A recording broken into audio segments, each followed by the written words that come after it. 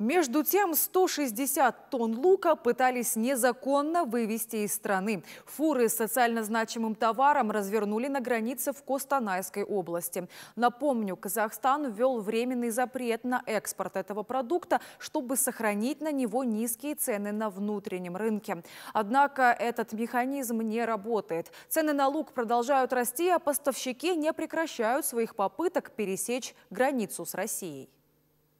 Вот эти фуры задержали на пограничном посту Кайрак. 160 тонн репчатого лука хотели вывести из страны, несмотря на запрет экспорта. Всего было пресечено 8 таких попыток. Перевозили овощ открыто, надеясь на авось. И некоторые перевозчики пытались сделать это дважды. Однако теперь не исключают и возможность маскировки товара.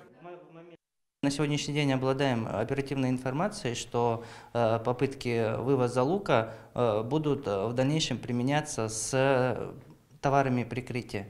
В связи с чем контроль по перемещению товаров временно запрещенных и ограниченных на сегодняшний день усилен.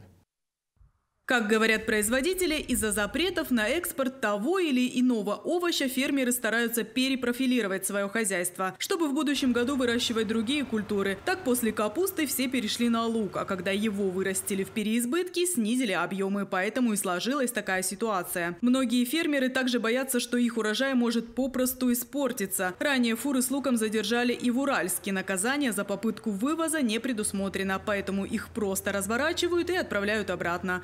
Минсельхозе заверяют, что ажиотаж с ценами кратковременный и ситуация в ближайшие дни стабилизируется. В Джамбульской области, где основной запас лука, их сейчас 100 тысяч тонн у нас находится в Казахстане, их нам будет достаточно до следующего урожая. Оптовые цены там у производителя сейчас колеблются между 150 до 230 тенге за килограмм. Поэтому вот такие всплески небольшие, которые происходят, это связано, наверное, с логистическими вопросами. В комитете торговли уверяют, что в столичном супермаркете лук стоит 130 тенге за килограмм и дефицита нет. Учитывая то, что на рынке Шарен лук оптом продается по 210 тенге, некоторые торговцы пытаются прийти, и как было в прошлом году, э, сахар сметали с прилавков, точно так же пытаются набрать побольше и потом перепродавать в своих магазинах. Вот это на самом деле сейчас происходит.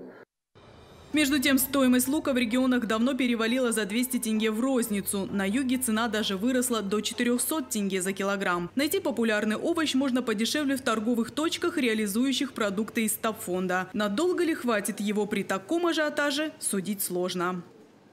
Нина Шапо, Елена Досова, Информбюро. Каждый вечер мы рассказываем обо всем, что по-настоящему важно. Самые честные новости, аналитика и мнения. Подписывайтесь, нажимайте на колокольчик и будете знать, что происходит в стране и в мире.